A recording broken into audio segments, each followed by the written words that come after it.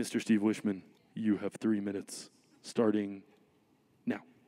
So I'm going to show you guys how to make a functioning Jeopardy game board in PowerPoint. Oh no, the audio. I was hoping to really blast you guys with way too loud noise. So, and we're, we're mirroring the right side? Okay.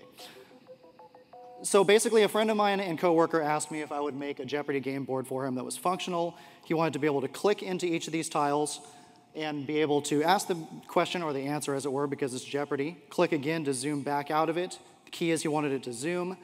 And once he got done going through all of the questions and answers, he could click on a hidden link in the corner to go to Final Jeopardy.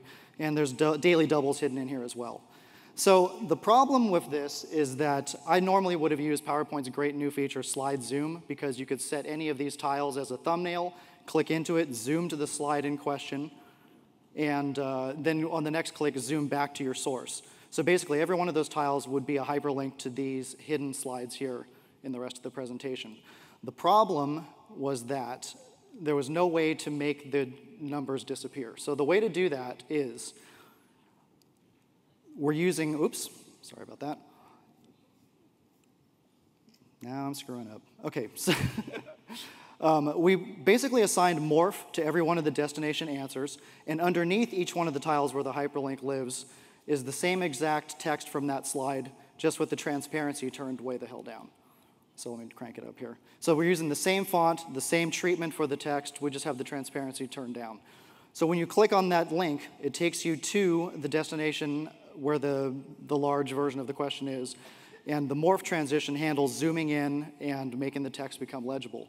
As far as making the numbers disappear, that was the real trick.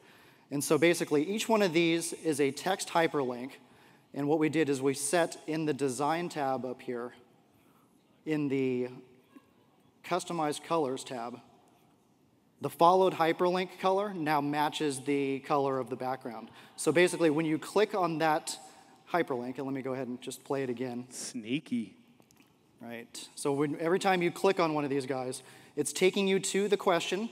Morph handles the zoom in and also handles the, the opacity change of the text. Clicking again, we have a hyperlink set here on that one, so it takes you back to the game board. And now that hyperlink has been clicked, it becomes invisible, and you can move along with your game and, and go to Final Jeopardy.